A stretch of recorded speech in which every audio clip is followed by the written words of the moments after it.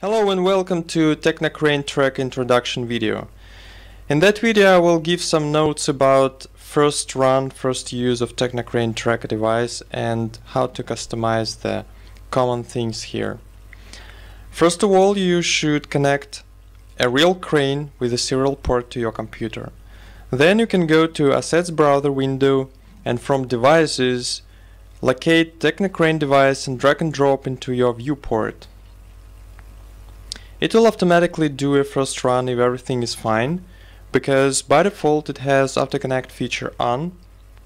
But if you have any issues to connect to your COM port, you can go to Navigator UI settings and choose another serial port if your real crane is connected to another one, or you can try alternative connection it's another way, another approach to connect to and exchange data with a serial port and then you can try to activate. Even if you add a device from a device section of assets, you should know that this device is the solver object. So to locate it in the Scene Navigator window, you should go to Solvers branch. Before you use the device for tracking and recording, you should enter some parameters of your real camera. It's a camera frame rate and sensor dimensions.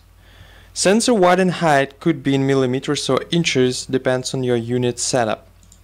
It's important to enter correct values so that your system will align packets according to your camera frame rate and also sensor dimensions is needed to do an accurate calculation of a virtual camera field of view. It's very easy to do recording in Motion Builder. First of all, you should enter record button and choose if you want to create a new take or override existing. Then you press play button and you start your recording. When you want to finish, you should press stop button.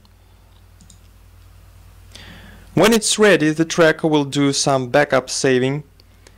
It will use autosave path as the temporary folder where he puts backups. By default, it's a user temp folder. After recording, if you want to play your pre-recorded camera animation, you first of all need to turn your Technocrane solver device to offline. You can do that by unchecking the active property. And then you can play your camera animation.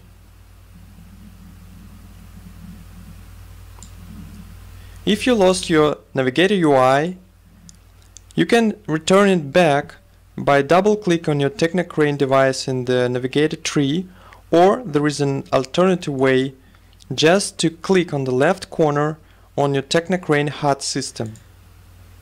Tracker device has also a crane preview feature. It's a parametric animation that emulates a real crane movement in virtual space and because it's an emulation in some cases it could not be precise.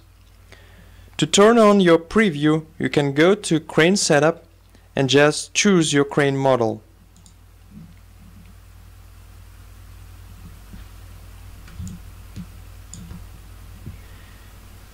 If your real device is on rails and to reflect the movement correctly in virtual space, you should calibrate your track position along the rails. Crane preview animation will be recorded with the camera as well. There is also a feature when you can turn off your camera movement streaming to do that, we can turn off active state, go to the properties for locating advanced settings, and turn off stream camera, then return active back. If we play camera animation, the crane will follow it. You can use it to make a preview for already existing or pre-recorded camera movement. Camera focus value is converted into centimeters and connected to a camera-specific distance property. So that if you have a look into render options, you will see that specific distance reflects the focus value. You can use it for real-time depth of field effect. For more detailed information about tracker properties and advanced setup, please check a tracker user guide. Thanks for watching and have a good shooting!